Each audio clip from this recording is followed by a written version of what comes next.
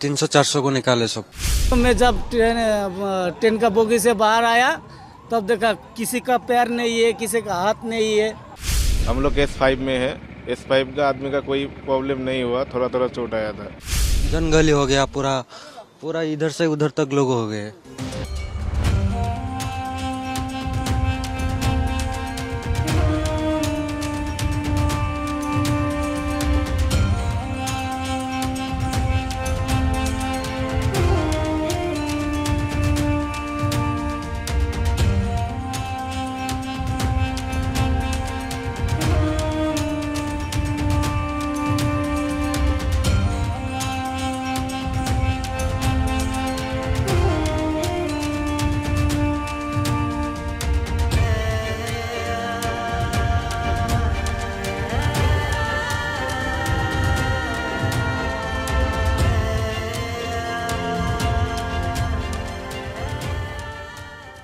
आवाज़ आया हम मार्केट में थे तो आए देखे तो ऐसा हुआ है। अब फिर सबको निकाले अंदर से मिनिमम तीन सौ चार सौ को निकाले सब। ऐसा हुआ है। कितने बजे की लगभग आप लोग? पाँच साढ़े पाँच बजे। हाँ। तो आप लोग कितने डिस्टेंस में थे कितने दूर? हम मार्केट में थे इधर 200 मीटर के पास घटना घटी तब क्या माहौल? बहुत लोग बहुत लोग इधर थे और वो आवाज़ मतलब जंगल हो गया पूरा पूरा इधर से उधर तक लोग हो गए। ऐसा हुआ है।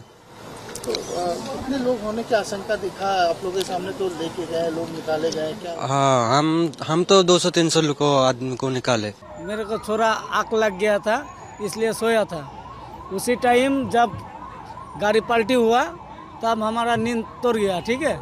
उस टाइम देखा हमारा जो बोगी में जितना आदमी था रिजर्वेशन बोले तो जनरल का जैसा है। और दस पंद्रह आदमी मेरा बदन के ऊपर पूरा आके गिर गया। जब पूरा आदमी तोल पर लग, लगा दिया, उस टाइम मेरे को, मैं सबका नीचे था। ठीक है? मेरा हाथ में लगा इधर, बहुत दर्द हो रही है। इधर घर में लगा है। उसके बाद ऐसा देख रही है। कितना लोग का डेट हुआ है? कितना लोग का डेट हुआ बोले तो मैं जब ट्रेन ट्रेन का बोगी से बाहर आया, तब देखा किसी का पैर नहीं है, किसी का हाथ नहीं है। ऐसा ही है, किसी का थोपरा बिगड़ गया है। ऐसा है मालूम है। इसके अलावा जब मैं उधर से आया उधर से फिर इधर वापस आके इधर ही बैठा था। मैं कलकत्ता से आया हूँ नोडिया डिस्ट्रिक्ट। आप कहाँ जा रहे थे? हम लोग चेन्नई जा रहे थे। चेन्नई से कालीकोट जाएगा केरला में। ये हादसा कब हुआ? कितने बजे हुआ? तो सिक्स फिफ्टी सात बजे का पहले दस मिनट पहले। जब ये हादसा हुआ तो आपको कैसा आप लोगों को वो ज़्यादा आवाज़ हो रहा था। हम लोग बाद में वो ट्रेन पकड़ रहा था। बाद में हम लोग नमा था। हम लोग एस फाइव में है। एस पाइप का आदमी का कोई प्रॉब्लम नहीं हुआ थोड़ा थोड़ा चोट आया था। तो आप लोग कितने लोग हैं? हम लोग एट आदमी आठ आदमी था। कहाँ जा रहे थे और क्या कर रहे थे? चेन्नई जा रहा था पेंटिंग काम कर रहे थे। अभी आप यहाँ पे ठहरे हुए हैं। फिर आगे का प्लान क्या है आपका? हम लोग अभी घर में जाएगा ऐसा है। ऐसा घर वालों को आप लोग जानकारी? हाँ जानकारी है। हम लोग बोला है हम लोग ठीक है कोई प्रॉब्लम नहीं हुआ हम लोग का। अचानक क्या? अचानक ऐसा हो गया।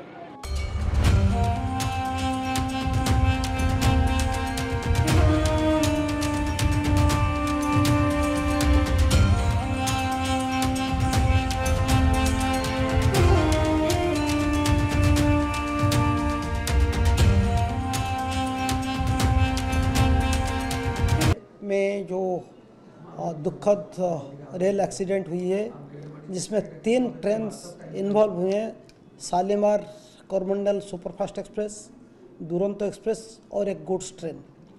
इसके वजह से दो पैसेंजर ट्रेन को नुकसान हुई है। एंड अभी तक जो खबर मिली है 300 से 400 के बीच में इंजियोर्ड पैसेंजर्स अभी हॉस्पिटल, डिफरेंट हॉस्पिटल अस्पताल में भर्ती किए गए हैं।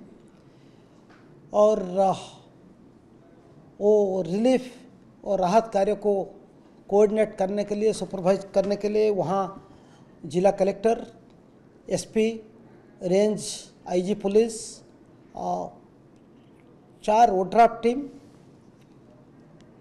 तीन एनडीआरएफ टीम और 20 से ज़्यादा फायर सर्विस टीम को रेस्क्यू टीम को लेकर काम कर रहे हैं। करीब 500 से 600 रेस्क्यू वर्कर्स ये काम में नियोजित हैं। ये रात की टाइम में जो रेस्क्यू काम चल रहा है, उसको कोऑर्डिनेट करने के लिए, अच्छे ढंग से करने के लिए हम इन्फ्लेटेड इन्फ्लेटेबल टावर लाइट्स का पर्याप्त मात्रा में वहाँ उपलब्ध कराए हैं और कंटिन्यूस अभी रेस्क्यू का काम चल रहा है। इस बीच में खबर आई है कि कुछ पैसेंजर का डेड होने का न्यूज़ आई है बट अभी तक हम कोई कंफर्म फिगर आई नहीं है। आ, अभी प्रशासन का जो मेन काम है प्रायोरिटी है वो बचाव बचाव का काम करना प्रायोरिटी है। तो इसी काम में सब लगे हुए हैं। हमारे Baleshwar medical college Baleshwar district headquarter hospital Bhadrak district headquarter hospital Jajpur hospital SCB medical college Cuttack AIIMS Bhubaneswar और रास्ते में जितने सारे प्राइवेट हॉस्पिटल्स हैं, कटक, भुवनेश्वर और भद्रक, बालेश्वर, जाजपुर ज़िले में, सब हॉस्पिटल को रेडी करके रखा गया है। एडिक्वेट डॉक्टर्स हैं और एक्सीडेंट साइट को भी हम पचास से ज़्यादा डॉक्टर्स टीम भेजे हैं। पैंसठ से सत्तर एंबुलेंस काम कर रही है और उसके बाद भी हम थर्टी फोर्टी बसेस वहाँ पहुँचा हैं। वो बसेस में पैसेंजर लोगों को हम लेते हैं दूसरे जगह पे। ये रात भर ये काम चलेगा। आशा करते हैं कि सुबह से पहले entire relief and rescue operation को हम कंप्लीट कर पाएँगे।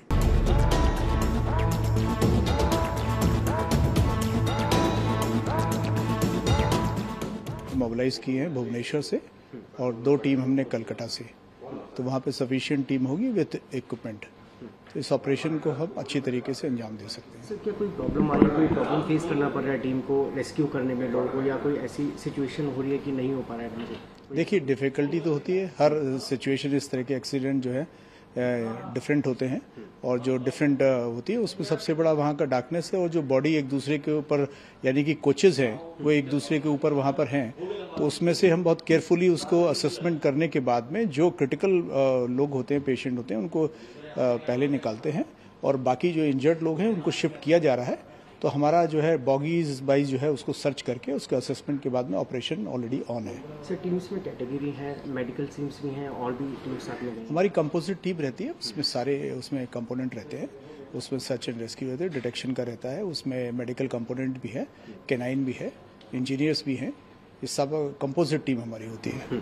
तो अभी सर अभी तक इंजर्ड कितने निकले हैं या डेड बॉडीज कितने निकले हैं? ये फिगर जैसे ही मिलेगी हम आपको अपडेट करेंगे क्योंकि अभी हमारा फोकस रिस्पॉन्स पे है। जिसमें कि search and rescue is my focus है क्योंकि बहुत क्रिटिकल है। अभी इनिशियल स्टेज में जितनी हम लाइफ बचा सकते हैं उतनी बचाने की पूरी कोशिश करेंगे। टाइम पीरियड कुछ हो सकता है रेस्क्यू का पूरा कि अभी तक ये देखिए कितने देर में होता है कंप्लीट होता है बट हमारे रिसोर्सेज हैं और जो रिसोर्सेज की ज़रूरत पड़ेगी वो स्टेट गवर्नमेंट के साथ में और रेलवे अथॉरिटी के साथ में हम लगातार टच में हैं।